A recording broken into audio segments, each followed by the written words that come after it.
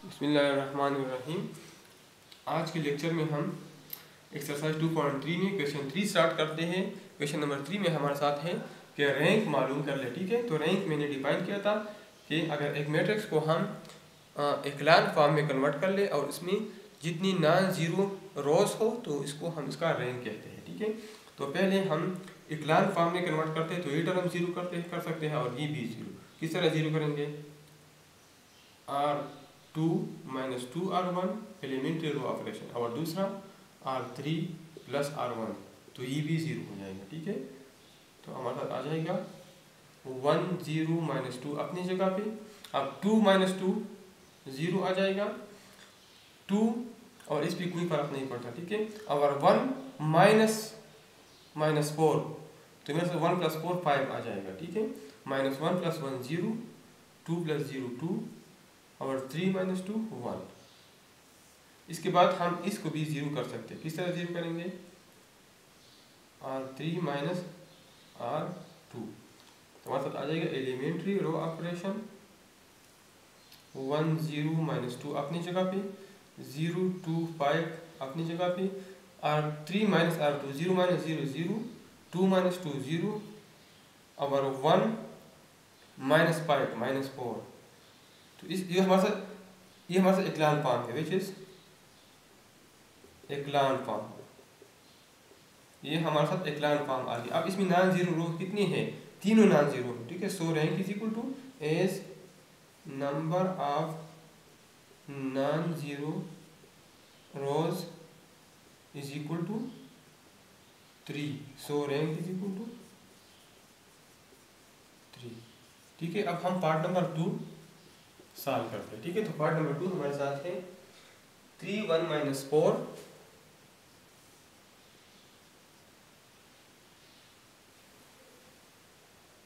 three one zero two one और one zero two zero two one और one sorry zero two one one minus one minus two one minus one minus two. ठीक है अब पहले इसको हम एक लाइन फॉर्म में कन्वर्ट करते हैं। एलिमेंट्री रो ऑपरेशन इसमें करते हैं। तो हमारे साथ ये ऑलरेडी ज़ीरो है, ये हम ज़ीरो कर सकते हैं। किस तरह पहले हम इस टर्म को वन करते हैं ताकि आसानी से हम एलिमेंट्री रो ऑपरेशन कर लें। तो रो वन और रो थ्री को हम इंटरचेंज करते हैं, ठीक है? तो one minus one minus two ऊपर जाएगा ज़ीरो टू वन अपनी जगह पे और थ्री वन माइनस फोर नीचे आ जाएगा, ठीक है?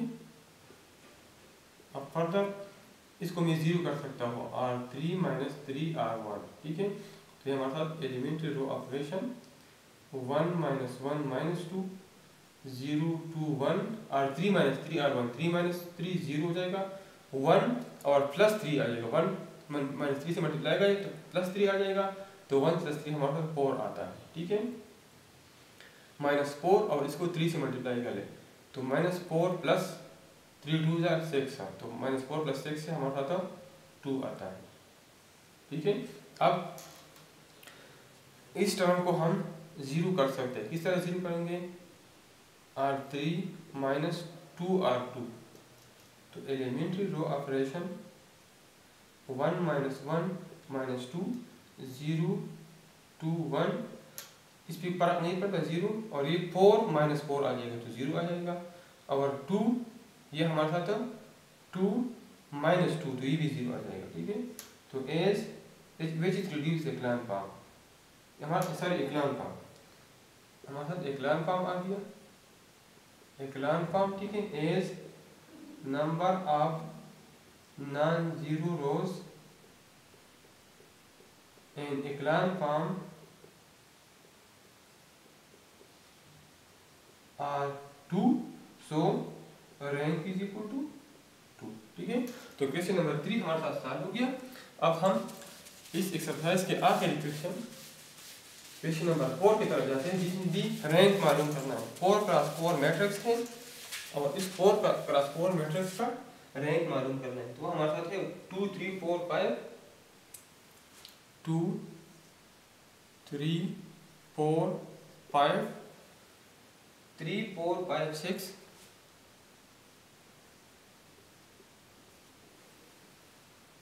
four five six seven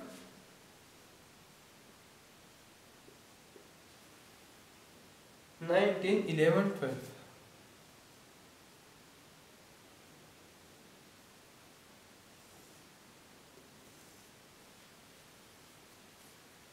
अब हमारे साथ ये क्वेश्चन नंबर फोर है। फोर क्रॉस फोर मैट्रिक्स है, इसका रैंक मालूम करना है। तो अगर इसको हम एक्लान फॉर्म में कन्वर्ट करते तो ये बहुत ज़्यादा लेंथी हो जाएगा।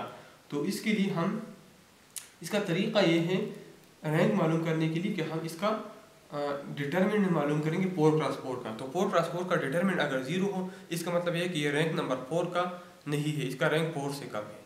फिर हम इससे कोई भी थ्री क्रॉस थ्री मैट्रिक्स लेंगे, उसका डिटर्मिनेंट मालूम करेंगे। उसका भी ज़ीरो आ गया। तो इसका मतलब ये है कि हमारे साथ थ्री प्लस थ्री से कम है। ज़ीरो नहीं आया तो इसका मतलब इसका रैंक थ्री है, ठीक है?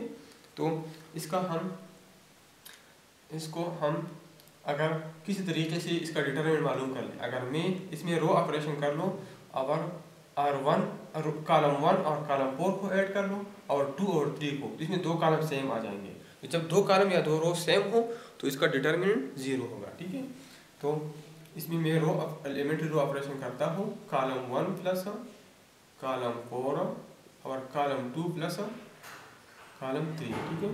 तो ये मेरे आ जाएगा two plus five seven three plus six nine four plus seven eleven nine plus twelve twenty one ठीक है? Sir three plus four seven seven ठीक है? Four plus five nine five plus six eleven ten plus eleven twenty one. और दो अपनी जगह पे। Four, five, six, eleven, five, six, seven, twelve. ठीक है? इसका मतलब ये है, अब इसका डिटर्मिनेंट ठीक है? As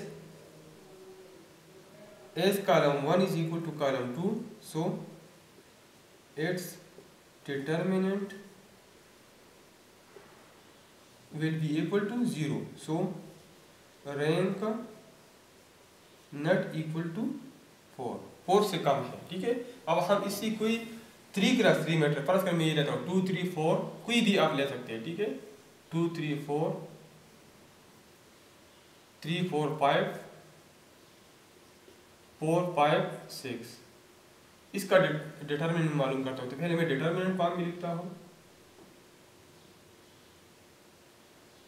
Three four five four five और सिक्स तो determinant expand by first row तो two into four five five six minus three into three five four six plus four into three four four five is equal to two into four six are twenty four minus five five are twenty five minus three three six are eighteen minus four five are twenty four three five are fifteen minus four four are sixteen ठीक है which is equal to two into minus one minus three into minus two plus four into minus one ठीक है?